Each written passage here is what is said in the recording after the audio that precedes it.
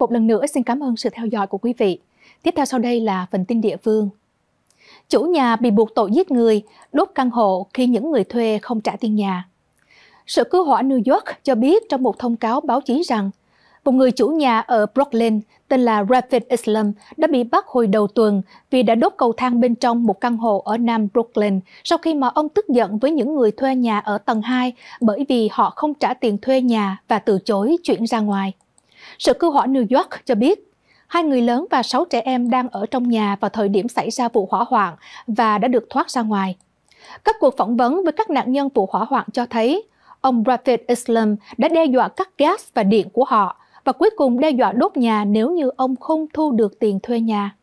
Các nhà chức trách cho biết, cảnh sát đã dành 4 tuần để xác minh danh tính của nghi phạm trước khi mà cuối cùng tìm thấy hình ảnh của người chủ nhà với mũ trùm đầu và mặt nạ. Ông Rafis Islam đã bị buộc tội là cố ý giết người, hành hung và đốt phá theo văn phòng biện lý của quận Brooklyn truy tố. Thi thể của một phụ nữ bên trong cốp xe ở thành phố Huntington Beach bị nghi là do nhân tình giết chết. Khoảng 5 giờ 15 phút chiều thứ hai vừa qua, cảnh sát đã tới khu phố 17.000 đường Frame gần ngã tư đường Warner với đường Graham sau khi nhận được tin báo xảy ra một vụ cãi nhau trong gia đình. Sở cảnh sát của Huntington Beach cho hay cảnh sát đã liên lạc với những người liên quan, sau đó phong tỏa nơi tìm thấy xác chết này. Qua điều tra ban đầu, cảnh sát cho biết rằng thi thể của một phụ nữ bên trong cốp xe hơi và dựa trên các cuộc thẩm vấn cũng như các bằng chứng thì ông Richard Paul Rollinge, 34 tuổi, là cư dân của thành phố Holbrook của tiểu bang Arizona, bị bắt giam với cáo trạng là giết người. Theo Sở Cảnh sát của tiểu bang Arizona, trên Facebook họ xác nhận rằng danh tánh của nạn nhân đó là bà Christy Lynn Romero, 54 tuổi. Vào hồi thứ năm tuần trước, bà Romero đã làm đơn yêu cầu tòa án cấm ông Roringe không được tới gần bà. Bà được gia đình thông báo bị mất tích từ ngày thứ hai vừa qua và chiếc xe của bà bị lấy cắp. Sự việc vẫn đang được điều tra.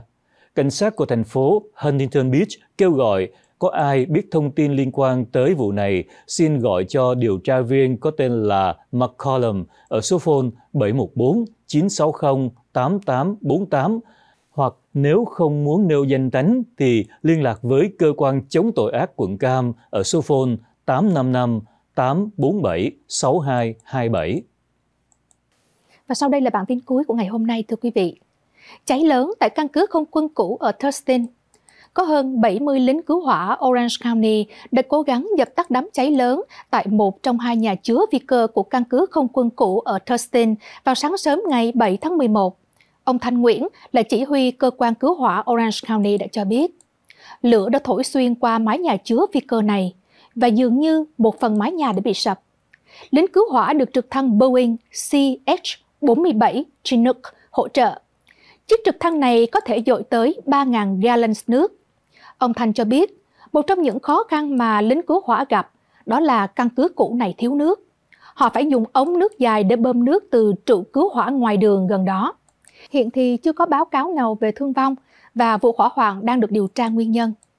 Tòa nhà này là một trong những tòa nhà bằng gỗ lớn nhất được xây dựng từ trước cho tới nay và là một trong hai nhà chứa phi cơ xây năm 1942 tại căn cứ không quân thủy quân lục chiến Thurston cũ. Tòa nhà này từng là nơi chứa khinh khí cầu nhỏ dùng trong đệ nhị thế chiến và sau đó dùng làm nơi chứa trực thăng quân sự. Kính thưa quý vị, vừa rồi là chương trình tin tức của Sài Gòn TV trên băng tầng 57.5 qua sự trình bày của Hoàng Dung và Đức Vượng. Chúng tôi xin cảm ơn sự theo dõi của quý vị. Quý vị có thể xem lại các chương trình của Sài Gòn TV trên Việt Channels app, trên YouTube hoặc trên Facebook ở địa chỉ Sài Gòn TV 57.5. Chúng tôi xin kính chúc quý vị có một ngày thứ tư thật an lành và hạnh phúc và xin hẹn gặp lại quý vị vào chương trình kỳ sau. Xin kính chào và tạm biệt quý vị.